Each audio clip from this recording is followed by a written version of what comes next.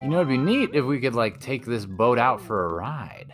But where would it even exit from and how the heck did it even get in here? It's like they built this steel building around it. they placed it here and like, yep, yep, this is good. Encase it now.